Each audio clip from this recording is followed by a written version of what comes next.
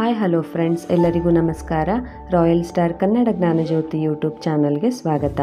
ಇದೀಗ ಈ ವಿಡಿಯೋನಲ್ಲಿ ನವರಾತ್ರಿಯ ಆರನೇ ದಿನ ಪೂಜಿಸುವಂತಹ ಕಾತ್ಯಾಯಿನಿ ದೇವಿಯ ಮಹತ್ವ, ಪೌರಾಣಿಕ ಕತೆ ಪೂಜಾ ವಿಧಾನ ಹಾಗೂ ಕಾತ್ಯಾಯಿನಿ ದೇವಿಯನ್ನು ಆರಾಧಿಸಲು ಯಾವ ಮಂತ್ರಗಳನ್ನು ಪಠಿಸಬೇಕು? ಈ ಎಲ್ಲ ಮಾಹಿತಿಯನ್ನು ಸಂಪೂರ್ಣವಾಗಿ ತಿಳಿಯೋಣ ಬನ್ನಿ.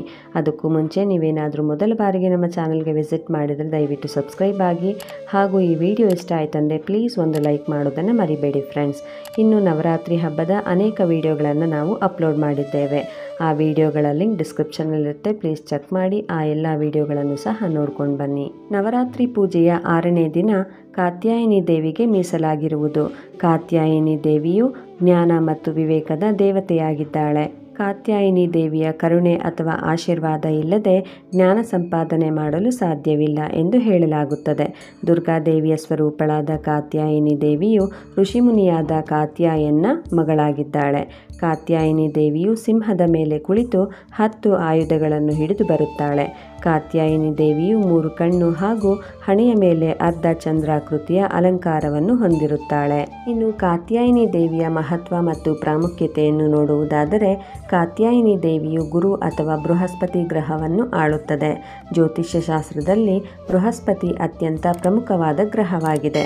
ಗುರುಗ್ರಹದ ದೃಷ್ಟಿ ಹಾಗೂ ಪ್ರಭಾವ ಉತ್ತಮವಾಗಿದ್ದರೆ ಆ ವ್ಯಕ್ತಿ ಜೀವನದಲ್ಲಿ ಅಪಾರ ಪ್ರಯೋಜನ, ಸಮೃದ್ಧಿ ಹಾಗೂ ಯಶಸ್ಸನ್ನು ಪಡೆದುಕೊಳ್ಳುತ್ತಾನೆ. ಕಾತ್ಯಾಯಿನಿ ದೇವಿಯ ಆರಾಧನೆ ಮಾಡುವುದರಿಂದ ಭಕ್ತರು ಗುರುಗ್ರಹದಿಂದ ಪಡೆಯಬಹುದಾದ ಎಲ್ಲ ಪ್ರಯೋಜನಗಳನ್ನು ಪಡೆದುಕೊಳ್ಳಬಹುದು. ಇನ್ನು ಕುಂಡಲಿಯಲ್ಲಿ ಗುರುಗ್ರಹದ ತೊಂದರೆ ಏನಾದರೂ ಇದ್ದರೆ ಅದಕ್ಕೂ ಸಹ ಪರಿಹಾರವನ್ನು ಕಂಡುಕೊಳ್ಳಬಹುದಾಗಿದೆ. ಇನ್ನು ಕಾತ್ಯಾಯಿನಿ ಮಾತೆಯನ್ನು ಪೂಜಿಸುವುದರಿಂದ ದೊರೆಯುವ ಪ್ರಯೋಜನಗಳೇನೆಂದರೆ ಮನೆಯಲ್ಲಿ ಸುಖ, ಶಾಂತಿ, ನೆಮ್ಮದಿಯನ್ನು ನೆಲೆಗೊಳಿಸುವುದಕ್ಕಾಗಿ ಕಾತ್ಯಾಯಿನಿ ದೇವಿಯನ್ನು ಪೂಜಿಸಲಾಗುತ್ತದೆ. ಮದುವೆಗೆ ಸಂಬಂಧಿಸಿದಂತೆ ವ್ಯಕ್ತಿಯು ಸಮಸ್ಯೆಗಳನ್ನು ಹೊಂದಿದ್ದರೆ ಕಾತ್ಯಾಯಿನಿ ಮಾತೆಯನ್ನು ಪೂಜಿಸಿ ನೆಮ್ಮದಿಯನ್ನು ಕಂಡುಕೊಳ್ಳಬಹುದಾಗಿದೆ. ಮದುವೆ ಕಾರ್ಯದಲ್ಲಿ ವಿಳಂಬ, ಗಂಡ ಹೆಂಡಿರ ನಡುವೆ ಆಗಾಗ್ಗೆ ಜಗಳಗಳುಂಟಾಗುವುದು, ಅಂತೆಯೇ ಸೂಕ್ತ ಪಾಲುದಾರರನ್ನು ಹೊಂದಲು ಸಮಸ್ಯೆ ಇರುವುದು ಇತ್ಯಾದಿ ತೊಂದರೆಗಳಿಗೂ ಸಹ ನವರಾತ್ರಿ ಸಮಯದಲ್ಲಿ ವ್ರತವನ್ನು ಆಚರಿಸುವುದರ ಮೂಲಕ ಈ ಸಮಸ್ಯೆಯಿಂದ ಪರಿಹಾರವನ್ನು ಕಂಡುಕೊಳ್ಳಬಹುದಾಗಿದೆ. ಇನ್ನು ಕಾತ್ಯಾಯಿನಿ ಮಾತೆಯನ್ನು ಶಕ್ತಿ ಸ್ಥೈರ್ಯದ ದೇವತೆ ಎಂದು ಸಹ ಕರೆಯುತ್ತಾರೆ. ಭಯವನ್ನು ಹೋಗಲಾಡಿಸುವಲ್ಲಿ ಕೂಡ ಕಾತ್ಯಾಯಿನಿ ಮಾತೆಯು ಪೂಜನೀಯವಾಗಿದ್ದಾರೆ. ಇನ್ನು ಕಾತ್ಯಾಯಿನಿ ಮಾತೆಯ ಹಿಂದಿರುವ ಪೌರಾಣಿಕ ಕಥೆಯನ್ನು ನೋಡುವುದಾದರೆ, ಒಮ್ಮೆ ಕಾತ್ಯಾಯನ್ ಎನ್ನುವ ಋಷಿ ಪಾರ್ವತಿ ದೇವಿಯಂತಹ ಮಗಳನ್ನು ಹೊಂದಬೇಕು ಎಂದು ಆಶಿಸಿದ್ದನು. ಈ ಹಿನ್ನೆಲೆಯಲ್ಲಿಯೇ ಭಕ್ತಿಯಿಂದ ತಪಸ್ಸನ್ನು ಕೈಗೊಂಡಿದ್ದನು.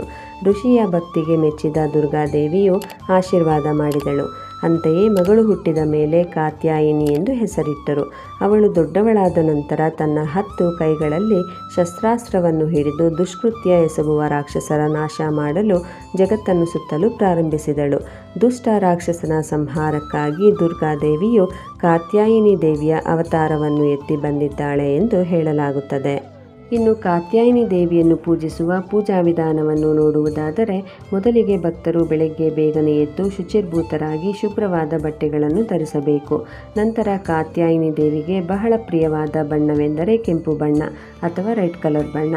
ಈ ಬಣ್ಣದ ಬಟ್ಟೆಗಳನ್ನು ಭಕ್ತರು ಆ ದಿನ ಧರಿಸಿದರೆ ಬಹಳ ಒಳ್ಳೆಯದು. ನಂತರ ದೇವರ ಕೋಣೆಯನ್ನು ಶುದ್ಧಿಗೊಳಿಸಿಕೊಂಡು ನಂತರ ಕಾತ್ಯಾಯಿನಿ ದೇವಿಗೆ ಇಷ್ಟವಾದಂತಹ ಜೇನುತುಪ್ಪ ನೈವೇದ್ಯವನ್ನು ಸಿದ್ಧ ಮಾಡಿಟ್ಟುಕೊಳ್ಳಬೇಕು ಈ ಜೇನುತುಪ್ಪವನ್ನು ನೈವೇದ್ಯವಾಗಿ ಕಾತ್ಯಾಯಿನಿ ದೇವಿಗೆ ಅರ್ಪಿಸುವುದರಿಂದ ಆ ವ್ಯಕ್ತಿಯಲ್ಲಿ ಆಕರ್ಷಣೆ ಮತ್ತು ಕಾಂತಿಯು ಹೆಚ್ಚಾಗುತ್ತದೆ. ನಂತರ ತುಪ್ಪದ ದೀಪಗಳನ್ನು ಹಚ್ಚಿ ಗಂಧ ಹರಿಶಿನ ಕುಂಕುಮದಿಂದ ಅಲಂಕರಿಸಬೇಕು. ನಂತರ ಕಾತ್ಯಾಯಿನಿ ದೇವಿಯ ಫೋಟೋ ಅಥವಾ ವಿಗ್ರಹಕ್ಕೆ ಪ್ರಿಯವಾದಂತಹ ಚೆಂಡು ಹೂವು ಅಥವಾ ಕೆಂಪು ಗುಲಾಬಿ ಹೂವು ಅಥವಾ ಕೆಂಪು ಬಣ್ಣದ ಯಾವುದೇ ಹೂಗಳನ್ನು ಅರ್ಪಿಸಿ ದೇವಿಗೆ ಅಲಂಕಾರವನ್ನು ಮಾಡಬೇಕು. ಈ ಹೂಗಳನ್ನು ಅರ್ಪಿಸುವುದರಿಂದ ಆ ವ್ಯಕ್ತಿಯ ಮನಸ್ಸಿನ ಗೊಂದಲ ದೂರವಾಗಿ ಎಲ್ಲ ಆಸೆಗಳು ಈಡೇರುವವು. ನಂತರ ಒಂದು ತಟ್ಟೆಯಲ್ಲಿ ಹಣ್ಣುಗಳು, ತೆಂಗಿನಕಾಯಿ, ಬಾಳೆಹಣ್ಣು, ವೀಳ್ಯದೆಲೆ, ಅಡಿಕೆ ಹಾಗೂ ಎಲ್ಲ ಮಂಗಳ ದ್ರವ್ಯಗಳನ್ನು ಇಟ್ಟು, ನೈವೇದ್ಯವನ್ನು ಇಟ್ಟು ದೇವಿಗೆ ಸಮರ್ಪಿಸಬೇಕು. ಇನ್ನು ನಾವು ಯಾವುದೇ ಪೂಜೆ ಮಾಡುವ ಸಂದರ್ಭದಲ್ಲಿ ಶ್ರದ್ಧೆ, ಭಕ್ತಿ ಎನ್ನುವುದು ಬಹಳ ಮುಖ್ಯ. ಯಾರು ಶ್ರದ್ಧಾ, ಭಕ್ತಿಯಿಂದ ಪೂಜೆ ಮಾಡುವರೋ ಅವರಿಗೆ ತಾವು ಆರಾಧಿಸುತ್ತಿರುವ ದೇವರ ಆಶೀರ್ವಾದವು ಖಂಡಿತವಾಗಿ ಸಿಗುತ್ತದೆ. ಆದ್ದರಿಂದ ಶ್ರದ್ಧಾ, ಭಕ್ತಿಯೊಂದಿಗೆ ಕಾತ್ಯಾಯಿನಿ ದೇವಿಯನ್ನು ಪೂಜೆಗೆ ಆಹ್ವಾನಿಸಿ. ನಂತರ ನಿಮ್ಮ ವಿನಮ್ರ ಪ್ರಾರ್ಥನೆಯನ್ನು ಸ್ವೀಕರಿಸುವಂತೆ ತಾಯಿಯಲ್ಲಿ ಬೇಡಿಕೊಳ್ಳಿ. ನಂತರ ಈ ವಿಡಿಯೋನಲ್ಲಿ ತಿಳಿಸಿರುವ ಈ ಎಲ್ಲ ಮಂತ್ರಗಳನ್ನು ಪಠಿಸಿ ಜೊತೆಗೆ ದುರ್ಗಾ ಸಪ್ತಶತಿಯನ್ನು ಓದಬೇಕಾಗುತ್ತದೆ. ಆ ನಂತರ ತೆಂಗಿನಕಾಯಿಯನ್ನು ಒಡೆದು ಘಂಟಾನಾದವನ್ನು ಮಾಡುತ್ತಾ ಧೂಪ ದೀಪವನ್ನು ಬೆಳಗಿ ಕರ್ಪೂರವನ್ನು ಹಚ್ಚಿ ಮಂಗಳಾರತಿಯನ್ನು ಮಾಡಬೇಕು. ನಂತರ ಮನೆ ಮಂದಿಯೆಲ್ಲ ಮಂಗಳಾರತಿ, ತೀರ್ಥ, ಹೂವು ಪ್ರಸಾದಗಳನ್ನು ಸ್ವೀಕರಿಸಬೇಕು. ನಂತರ ನಿಮ್ಮ ಕೋರಿಕೆಗಳನ್ನು ಭಕ್ತಿಯಿಂದ ಬೇಡಿಕೊಂಡಲ್ಲಿ ನಿಮ್ಮ ಪ್ರಾರ್ಥನೆಯನ್ನು ದೇವಿಯು ಖಂಡಿತವಾಗಿಯೂ ಈಡೇರಿಸುತ್ತಾಳೆ. ಇವತ್ತಿನ ಮಾಹಿತಿ ನಿಮಗೆ ತುಂಬ ಇಷ್ಟ ಆಗಿದೆ ಅಂತ ಭಾವಿಸ್ತೇನೆ. ಇಷ್ಟ ಆಗಿದ್ರೆ ಪ್ಲೀಸ್ ಒಂದು ಲೈಕ್ ಮಾಡಿ ಶೇರ್ ಮಾಡಿ ಮತ್ತು ಕಮೆಂಟ್ ಮಾಡಿ. ಜೊತೆಗೆ ನಮ್ಮ ಚಾನಲ್ಗೆ ಸಬ್ಸ್ಕ್ರೈಬ್ ಆಗೋದನ್ನು ಮರಿಬೇಡಿ ಫ್ರೆಂಡ್ಸ್ ಇನ್ನೊಂದು ಇಂಟ್ರೆಸ್ಟಿಂಗ್ ಮಾಹಿತಿಯೊಂದಿಗೆ ಮತ್ತೆ ಸಿಗ್ತೀನಿ ಅಂತ ಹೇಳ್ತಾ ಈ ವಿಡಿಯೋವನ್ನು ಇಲ್ಲಿಗೆ ಮುಗಿಸ್ತಾ ಇದ್ದೇನೆ. ಧನ್ಯವಾದಗಳು.